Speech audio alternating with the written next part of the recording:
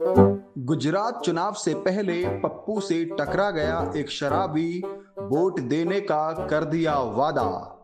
राहुल जी राहुल जी, नमस्कार नमस्कार बोल रहा हूँ राहुल जी। नमस्कार भैया, नमस्कार, क्या नाम है आपका?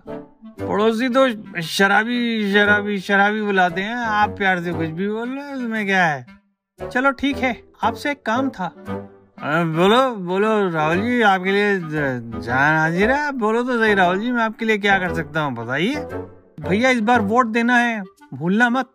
अरे, राहुल भैया, मैं तो हर बार वोट देता हूँ, इस बार भी वोट दूँगा, उसमें क्या है? हमने बोल दिया तो वोट दूँगा, पक्का? पक्का वोट दूँगा। अरे, वोट तो देते हो, लेकिन इस बार कांग्रेस पार्टी को वोट देना।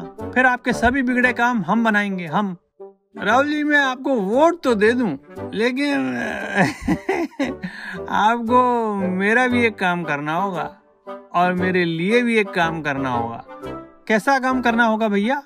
मैंने सुना है राहुल जी आपके पास ऐसी मशीन है जिसमें एक तरफ़ से आलू डालो और दूसरी तरफ़ से सोना निकलता है, हैं? हाँ है।